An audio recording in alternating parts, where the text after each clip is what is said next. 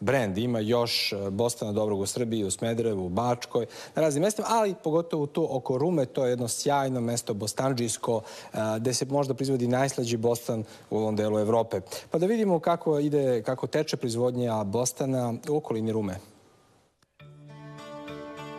Kod Boškovića Živana iz Dobrinjaca kod Rume na njegovoj parceli u Kraljevcima seča bostana je već u veliku toku. Za lubenice, pogotovo kada nisu pod navodnjavanjem kao ove, protekli dani su bili idealni sunce i kiša, sunce i kiša. Plod je dobio i na masi i razvio neverovatnu slast. Pa ova proizvodnja je počela u jesen je zaorano 30 prikolica stanjaka na 3 jutra koliko ovde vidimo zasađeno u bostana.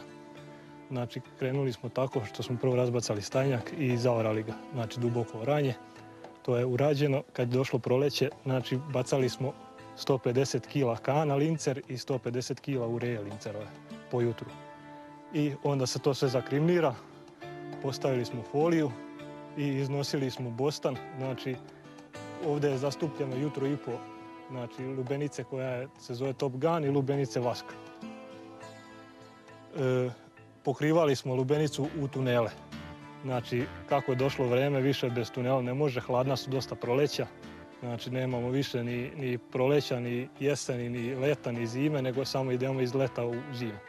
Morali smo da pokrijemo i ovaj, bilo je kiša, što je pogodovalo, znači, odmah u vegetaciji lubenice da se ona dobro razvije i da krene kako treba.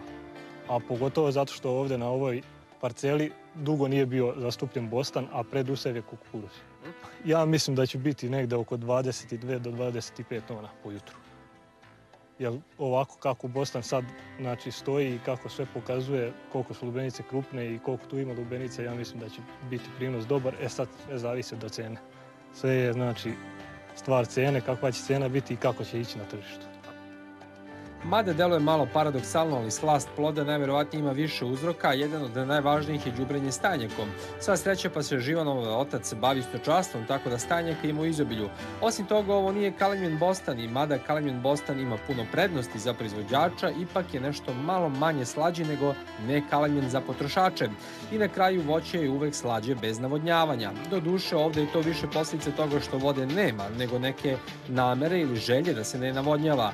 Probali smo lubenicu su prvo ove godine i slast, ukus žina su neverovatni. Pravo da vam kažem, ovde ne bi nikako mogao da se postavi sistem zato što je, nalazimo se na dosta visokoj zemlji. Znači, iza nas se nalazi ona deponija koja je kopana su tamo zemlje za ove nadvožnjake i podvožnjake, žute zemlje i tu su bageri kopali znači na dubini čak od 50 metara. Tako da ovde nikako ne bi moglo se doći do vode, nema te pumpe koja bi tu vodu povukla. Znači, isključivo je samo rađeno folijarno, preko špriceva dok nije Bostan se raširio i dok nije pustio vreže, posle smo išli sa traktorskim prskalicama folijarno prihranjivali. Ja mislim da je stanjak najbolji za Bostan i za sve ovaj biljke kao što su i kukuruzi soja, ali prvenstveno za Bostan. S tim da se prvu godinu, znači kad se razbaci stajnjak, stavi kukuruz, a drugu godinu kad stajnjak najbolje počne da radi, da se stavi Bostan. I najbolji predusjev za lubenicu je kukuruz. I onda Bostan kad se stavi drugu godinu, on najbolje radi, najbolje raste, izgura taj plod kako treba, bude krupna lubenica, bude kvalitetna i to je to. To je sve dobro za tržište, bude kvalitetna lubenica. Međutim, ove sezone naše bostanđije neće proći kako bi trebalo s razmrno kvalitetu. Nije problem što Srbija uveze tu količinu ranog bostana koju veze, to nije sporno, nego je problem što taj uvozni bostan obori cenu. Bostan uvek počinje sa oko pola evra, pa ide na dole. Međutim, problem je što ove godine mnogo brzo ide na dole.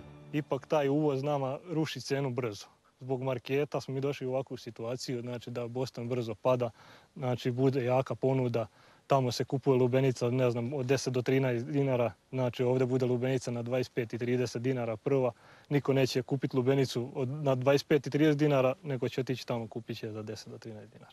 Mada ono nikad ne može biti kvalitet kao lubenica iz Srema. A na kraju jedan mali stručan savet. Neće samo trgovci i nakupci da umanje zaradu našim bostanđijama, nego i štetočine. Protiv zečeva koji prave ovakve štete je teško izboriti se, a i to bi bio posao lovaca. Međutim, postoji jedan dobar trik koji 100% provereno radi na vranama. Za razliku od običajnih saveta sa jajima i foradanom, Žika ima bolju ideju. Sve što vam je potrebno je malo crnog konca i par starih VHS kaseta, koji onako više ničemu ne služe. Na oko pola metra visine rasporedite ih po njivi i vrana pod zacima navoda iz psiholoških razloga ne sme da sleti.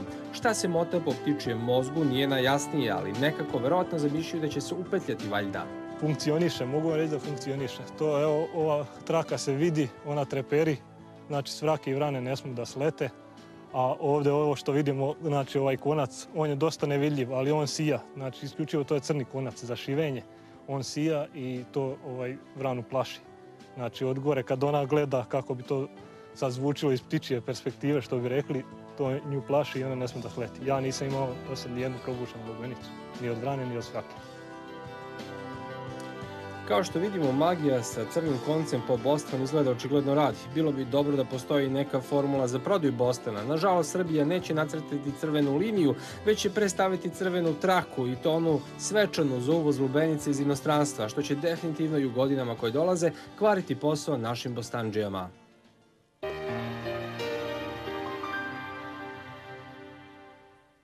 Videli ste praktičan savet kako da se zaštitite od vrana. U nastavku emisije također imamo korisne savete, pre svega iz zaštite bilja. Dakle, ostanite uz nas, zato što do kraja emisije ćete vidjeti i priču o patriđanu, priču o traktorima, odnosno najavit ćemo traktorija